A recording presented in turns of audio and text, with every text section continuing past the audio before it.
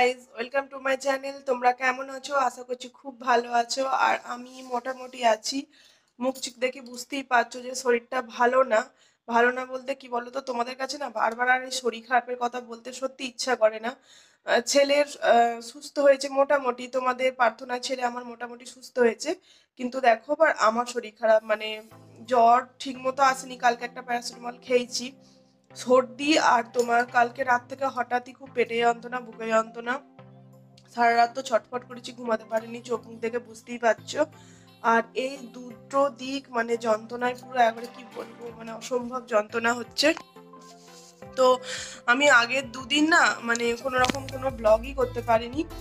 যে দুটো দিন যে তোমরা হয়তো ডেলি ব্লগ পাচ্ছ, কারণ ব্লগগুলো আমার করা ছিল, সেই কারণে আমি আগে দুটো দিন করতে পারিনি, একদমই ব্লগ মানে ছেলের শরীর অসুস্থ হওয়ার পর আমি একদিন না দুদিন ব্লগ করতে পারিনি, তারপরে আগের ব্লগগুলো দিচ্ছিলাম, তো ভাবলাম যে না, শরীর অসুস্থ, আর এখন যা ঠান্ডা পড়ছে, শরীর অসুস্থ হতেই থাকবে। তো সেই কারণে ভাবলাম যে না, তোমাদের সাথে কথা না বললেও ভালো লাগে না, তো সেই কারণে আজকে ব্লগটা শুরু করছি।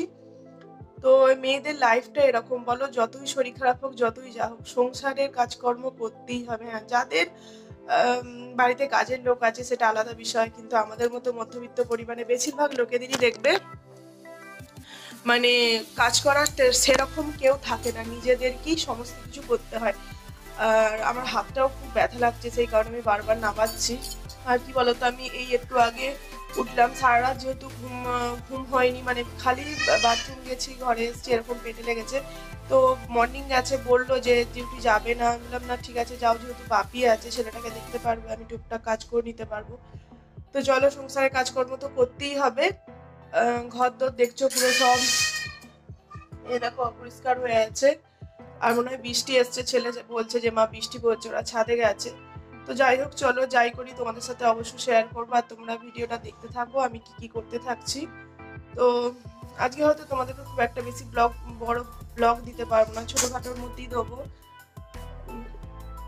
তো কি বলতো, প্রতিদিনই ভাবছি বিকালে একটা নতুন কিছু ভিডিও বানাবো। সেটা আর হচ্ছে না, সেই আগের দিনও ভেবেছিলাম, ছেলের শরীর খারাপ হলো, আজকেও ভেবেছি দেখি কি হয়, চোখ মুখের অবস্থা তো একদম ভালো নয়। যাই হোক, তাও তোমাদের জন্য আমি হাসি মুখের ভিডিও করি। তোমাদের ভালোবাসা মানে তোমরা এত সুন্দর কমেন্ট করো, এত সুন্দর ভালোবাসা দাও, তার জন্যই ভিডিও সত্যি শরীর খারাপ করতে ইচ্ছে করে। তো যাই হোক, চলো, অনেকটা বেলা হয়ে গেছে, এখন দশটা বাজে। উঠে শুধু চা খাওয়া হয়েছে, আর কিছু না, ছেলের দুধ গরম করছি, এখনও পর্যন্ত খাওয়ানো হয়নি, খাওয়াবো। তোমরা ভিডিওটা দেখতে থাকো, আমি তোমাদের সাথে আবার পরে কথা বলব হ্যাঁ? তো চলো।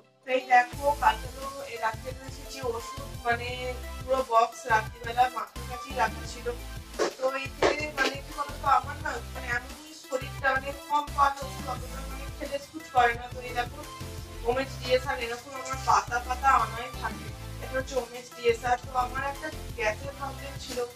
সেই ঘটনাও তোমাদেরকে একদিন শেয়ার করব। সেটা মানে কি বলতো, বিগত দেড় বছর ধরে ছিল সেই প্রবলেমটা তো আমার বেবি হওয়ার পর ওইটা অনেকটা কমেছে কিন্তু সেই ব্যাপারটা এখনও পর্যন্ত আমার মানসাজি হয়তো তখন আমি উত্তরপাড়ার দেবিদাসকে দেখিয়েছিলাম, তো উনি আমাকে তখন প্রতিদিন সকালবেলা প্যান্ট ফর্টি ফেলে মানে দিয়েছেন খুবই জোর পাহাড়ে শরীর পুরো অসুস্থ হয়ে যেত। এরকম পুরো একটা বক্স থাকে শুনে কি বলব, এত শরীর খারাপ হয়। তো যাই হোক, তো এই ঘরে তো শুয়েছি, বিছানাটা গুছিয়ে নিতে হবে। চলো, শরীর অসুস্থ থাকলেও কাজ তো করতেই হবে। তো মানে কালকে লেপেতে জানো তো, একদম ঠান্ডা কাটছিল না, লেপের মধ্যে এই ব্ল্যাঙ্কেটটা গায়ে দিয়েছিলাম। তারপর এরকম মানে যেহেতু বারবার বাইরে বেরিয়েছি, খুব ঠান্ডা লাগছিল।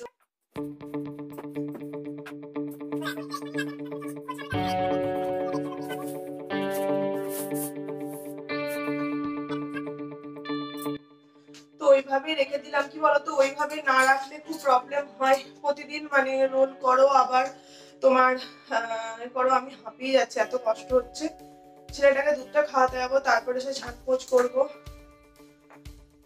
তো বলল যে, শরীর অসুস্থ হয়ে যেহেতু বিকালবেলা ডাক্তারের কাছে নিয়ে যাব, কিন্তু দেখো, এখন বৃষ্টি পড়ছে বৃষ্টির মধ্যে ডাক্তার দেখাতে গেলে আবার যদি বৃষ্টিতে ভিজে আবার শরীর খারাপ করবে, কিচ্ছু ভালো লাগছে না। তো চলো, আগে ছেলেটাকে দুধটা খাইয়ে নি তারপর তোমাদের সাথে কথা বলব হ্যাঁ? তো দেখো, তোমাদের বলছিলাম না যে প্রতিদিনই ভাবছি যে কিছু কারণে বের মানে বেরোবো তো সব থেকে বড় কথা এই যে মুড়ি বা বলো আটা, এইসব ফেলার জন্য না আমার কৌটো দরকার। তো এই দেখো, এইটা মানে সেই গ্লুকন্ডির বড় কৌটোগুলো এইগুলোতে আপাতত রাখি, খুব দরকার। তো দেখো, এক কৌটো মুড়ি নিয়ে নিয়েছি মুড়ি নিয়ে নিয়েছি, আর ওই বস্তাতে থাকে তো, খুব প্রবলেম হয়, জানো তো? মানে রাখতে, বারবার খোলা পড়াটাও ঠিক নয়, মুড়িটা নিমে যাবে।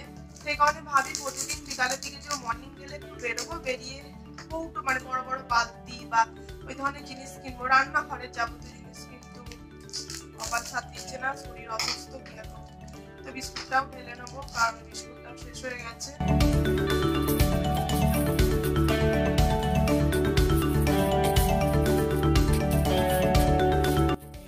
আর দেখো, আমার শরীর খারাপ, এদিকে ও দেখো। বাপির কাছে দুধটা দিয়ে এলাম, খাওয়াবার জন্য আমি অনেক চেষ্টা করে পারলাম না। এর একটা প্রবলেম হচ্ছে শরীর খারাপটা হওয়ার আগে থেকেই। মানে কিচ্ছু খাচ্ছে না। দেখো দিন রাত এই আঙুল চুষে যাচ্ছে দিন রাত আঙুল চুষে যাচ্ছে। কি বলব, কোথায় কষ্ট হচ্ছে তোর? আর সবসময় খালি একটা কথা বলছে, পেটে লাগছে তো দেখি কি করা যায়। কিন্তু তোমরা ভাববে হয়তো ডাক্তারের কাছে নিয়ে যাচ্ছি না। তুমি একটা চিপস দাও, একটা লজেন্স দাও, তখন আর বলবে না পেটে লাগছে। শুধুমাত্র দুধ খেতে, রুটি খেতে ওর পেটে লাগে। তাহলে এগুলো কি বলো? ওর শরীর খারাপ না বদমাইশি? কি বলব? বাচ্চা কিছু ঠিকঠাক বলতেও পারে না। তো যাই হোক, চলো, দেখছ এখনও ঘর দর পর্যন্ত কিচ্ছু ঝাটপোছ করা হয়নি। আর তোমরা দেখতে পাচ্ছ কি জানি না, ওই যে ওখানে যে ফাঁক মতো দেখা যাচ্ছে না, ওইখানে গাছ কাটা হচ্ছে। তো ছেলে এই জানলায় দাঁড়িয়ে দাঁড়িয়ে দেখছিল, তোমার ওই যে গাছ কাটা হচ্ছে, ওখানে জল ট্যাঙ্ক হবে। সেইখানে এখান দিয়ে দেখা যাচ্ছে, তোমরা হয়তো হালকা বুঝতে পারছ, এই যে এই পোর্শনটাই যে দেখা যাচ্ছে, ওই যে ওই যে এইটা, এইখানটা হবে, জল ট্যাঙ্ক হবে। তো যাই হোক, চলো কাজ করে নিই, তারপর তোমাদের সাথে কথা বলব। তো দেখো, ভাবলাম যে কি রান্না করব বুঝতে পারছিলাম না। এই যে দেখো লাউ পালং শাক কেটে নিচ্ছি, এই দেখো।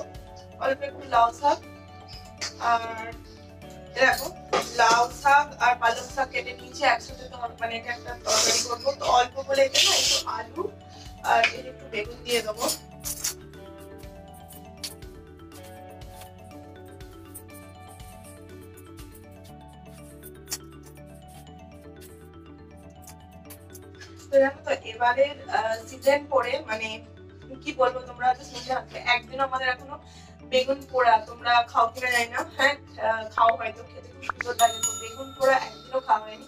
তো সেই কারণে দেখো, এই বেগুনগুলো আনা হয়েছে খুব সুন্দর, ভেতরটা পুরো ফ্রেশ তো একদিনকে বেগুন পোড়া করে খাব। মানে রুটির সাথে আমার বাপের বাড়িতে জানো তো, বেগুন পোড়া দিয়ে ভাতও খাওয়া হতো দুপুরে। কিন্তু এখানে রুটি দিয়েই খাওয়া হয়। আমার শ্বশুর বাড়িতে সেই কারণে আমি দুপুরে করতে পারি না। আর এখন একদিন পর্যন্ত তো করা হয়নি। আবার এইবার ছেলের জন্মবার বৃহস্পতিবার হ্যানবার ত্যানবার করতে নেই করে করে হয়ও না। আর দেখি কি এই শাকটা করব, এটা এখন চিন্তা ভাবনা করেছি, আর মাছ করব, মাছের ঝাল করি না, ঝোল করি, দেখি কি করি। আর চাদর ছাড়া মোটে কোনো কাজ করা যাচ্ছে না। মানে এত ঠান্ডা পড়েছে, আর তার মধ্যে নিজের শরীর খারাপ। মানে আচ্ছা রোদ্দুরের দিকে যাব, সে সময়ও নেই। দেখবে শরীর খারাপ হলে রোদ্দুরের দিকে একটুখানি থাকলে, যেমন আমার ছেলেটা রোদে গিয়ে অনেকটা সুস্থ হয়ে গেল। সেরকম যদি রোদে যাওয়া যায়, দেখবে সুস্থ হয়ে যায়, অনেকটা ঝরঝরে লাগে নিজেকে। কিন্তু আমাদের আর সেরকম সময়, উপায় কোনোটাই নেই। যাই আগে খাওয়ার ব্যবস্থা সমস্ত কিছু করতে হবে, ঘর সংসারে কাজ করে তারপর নিজের শরীর। তো দেখো যে আমার কাটা হয়ে গেছে। চলো আগে ছাপটা চাপিয়ে দিই, তারপরে ঝোল কি করি দেখি। তো দেখো, কড়াতে আমার পাঁচ আর শুকনো লঙ্কা দিয়েছি, তো এবার সবজিগুলো দিয়েছি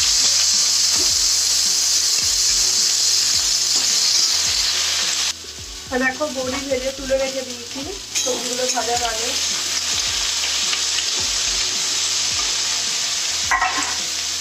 তো রান্নাটা চাপিয়ে দিয়েছি।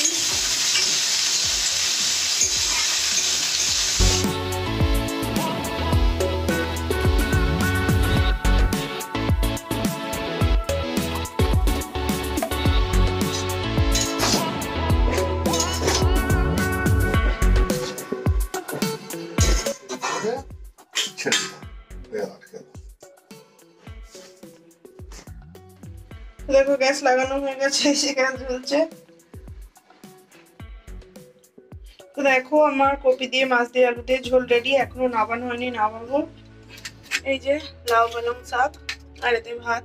তো চলো, ওদের আগে খেতে দিয়ে দিই ছেলেকে আর বাপিকে তারপর পরে তোমাদের সাথে কথা তো দেখো, এখন ঘড়িতে দেড়টা বাজে এই মাত্র একটু রোদ্রের দিকে এলাম। তো স্নান তো করিনি, শুধু গাটা ধুয়েছি, আর সামনে চুলটা একটু ভিজিয়েছি। আর বলছিলাম ছেলের শরীর সুস্থ হয়েছে, দেখো, ঘ্যান ঘ্যান করছে ওরও মুখ চোখ একবার অবস্থা খারাপ। ময়- ময়ের আর ছেলের দুজনকারই শরীর খারাপ। যাক, ছেলেটা একটু সুস্থ হয়েছিল, আবার একটু আগে থেকে। কারণ হতেই পারে, আমার শরীরটা খারাপ হয়েছে তো, সেই কারণে পাশে থাকছে, হতে পারে। তো এখনও খাওয়া দাওয়া হয়নি, ও মর্নিং গেছে, আসবে, তারপরে খাওয়া দাওয়া করব। বাপির আর ছেলের হয়ে গেছে, সেই জন্য দেখো লেপ টেপ ঢাকা দিয়ে ছাদের মধ্যেই লেপ নিয়ে চলে এসেছি এখানে একটু বসে আছি। তো তোমাদের সামনে তো আজকে বেশি আসতে পারছি না, আবার পরে কথা বলব। এখন একটু রোদ্দুরে শুয়ে আর মাথা প্রচুর যন্ত্রণা করছে অমৃতাঞ্জল লাগাবো একটু। তো ঠিক আছে, চলো আবার পরে কথা বলব, এখন একটু ছাদে বসি। আর ছেলে এই ছাদে বসেছিল, একটা কাঠপিমড়ে কামড়ে দিয়েছে, আর সেই যেগুলো খুব জ্বালা করে তো ফুলে গেছিল। তো তারপরে তোমার দিদিকে ফোন করল, বাপি, যে কাঠপিমড়ে কামড়ে দিয়েছে, কি দেবে? তো আমি আর্নিকা জেল দিলাম, কিন্তু ও বলল যে, না, তোমার স্যানিটাইজার স্প্রে কিংবা অ্যালোভেরা জেলটা লাগাতে ভালো হবে। তো এটা একটা টিপস হয়ে গেল তোমাদের জন্য রইল। যদি কাঠ কাঠপিমড়ে কামড়ায় বাচ্চাদের বা বড়দের স্যানিটাইজার স্প্রে বা অ্যালোভেরা জেলটা লাগালে কমে যাবে, ওর অনেকটাই কমে গেল। তো ঠিক আছে, চলো, আবার পরে কথা বলব। দেখো, ছাদের মধ্যে রোদ্রে শুয়ে আছি। তো তোমাদের সাথে তো দুপুরের পর থেকে আর কথা বলা হয়নি। তো সত্যি কথা বলতে শরীরটা খুবই অসুস্থ। কিন্তু কদিন ধরে ভাবছি মানে সবার ভিডিও দেখছি আর ভাবছি যে আমাকেও এটা ট্রাই করতে হবে আমাকেও এটা ট্রাই করতে হবে। তো কি জিনিস ট্রাই করছি সেটা তোমরা অবশ্যই ভিডিও দেখলে বুঝতে পারবে। যদিও হয়তো ব্লগ মানে এই ব্লগটার আগে হয়তো সেই ভিডিওটা পোস্ট করে দেবো তোমরা দেখে নেবে। তবুও এখন বলছি না। তো যাই হোক অনেক দিন ধরে মানে চেষ্টা করছিলাম কিন্তু ছেলের শরীর খারাপ এই ওই হ্যান ত্যান করে করছে না, তো বিশ্বাস করবে না তোমরা হয়তো না মানে হয়তো তোমরা বলছি বিশ্বাস করবে না। আমি দুপুরবেলা ও ও মর্নিং গেছিল, এসেছে, কারণ মর্নিং ছাড়া তো সেভাবে সময় ক্যামেরাটা কি এমআই করে দেবে? এমনিতে তো নিজে নিজে ক্যামেরা করা যায়, কিন্তু এসব ভিডিওতে করলে তো একটু ক্যামেরা কাউকে করতে হয়। তো যাই হোক, আর এখানে প্রথমবার ছাদে এরকম ভিডিও করছি, সেই জন্য একটু লজ্জাও লাগছিল। তো মানে আশেপাশে সবাই দেখছিল। তো যাই হোক করেছি সাহস করে। জানি না কেমন হয়েছে।